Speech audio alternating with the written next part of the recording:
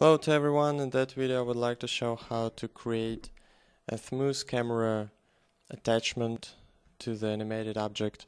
So in that scene I have the the cone which is moving into let me show the trajectory. So here's the trajectory. The cone is simply moving around and uh, so I'm going to attach a camera and follow uh, this element um, and I, in that video I will show how to make a smooth motion, smooth attachment. First of all, let's create a new camera. And simply what we can do when we switch to that camera, uh, we can put the camera behind and then go to all camera elements, interest point and camera point. And then I press P to enter the parenting mode and parent to cone. So now when we parent the cone, we have a strong attachment uh, to our moved element. But with the relation constraint and um, my node spring box, we probably can do, let's go to relation constraint, this one, spring element. And let me show how to make a smoothed attachment. First of all, uh, we need to create a null object which will move um, strongly uh, connected to the cone element. I will create a new null object on top of a camera. When, when I'm creating on top, that means that this null object, if I go to perspective view, that this null object will be created in the same position as the camera. So now, in relation constraint, I will use this null object as a source so I drag and drop into my relation constraint.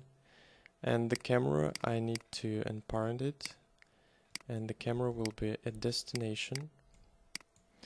So now I'm connecting the translation to my pose and result to translation. So let's see what we have in that case. Uh, the camera is is not moving because null object should be connected to cone, so it will be the source. So now when I stop, I have kind of spring effect.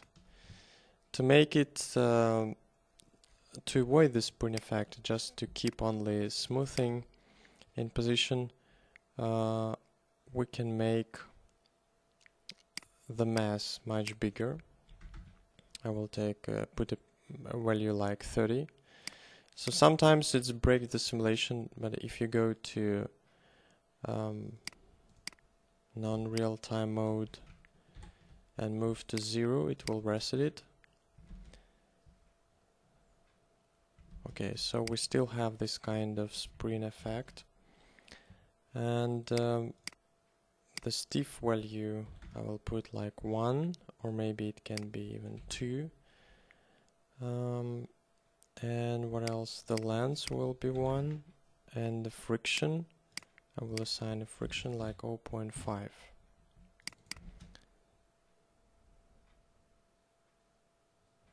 so now if we um, if we go to our camera we can probably apply as well the real-time mode.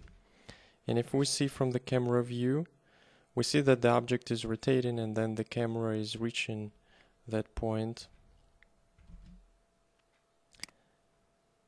and then returning back. So it has kind of spring, but without the uh, too much uh, too much stiffness effect because the mass is mass is higher, and that's why the the energy of the spring is enough only to return the element to to needed position, and the position where camera is following is our null object which is uh, parenting to cone. So the null object is moving with the cone. And the camera camera is trying to reach.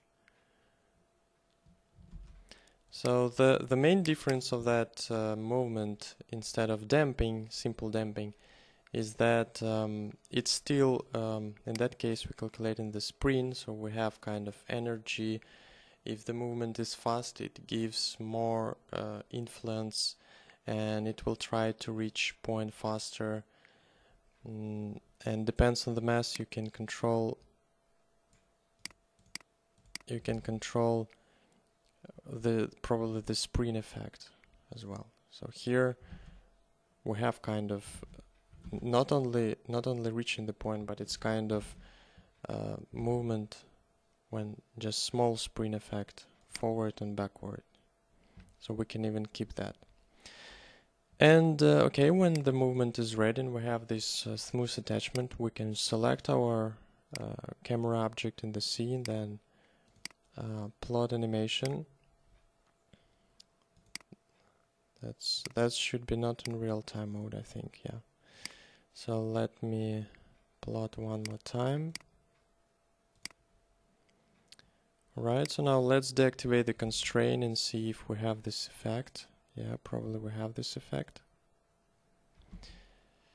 And there is some kind of, if we see the trajectory, there's kind of steps we have in our trajectory.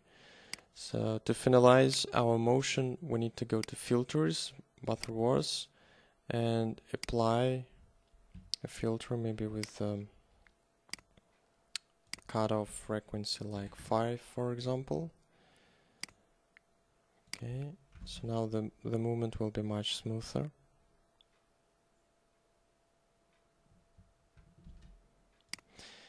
And uh, sure we can play with these parameters and um, try to reach the better result. But it's a very fast way to to have the smooth attachment of element like camera for example. Okay thank you for watching. See you next videos. Bye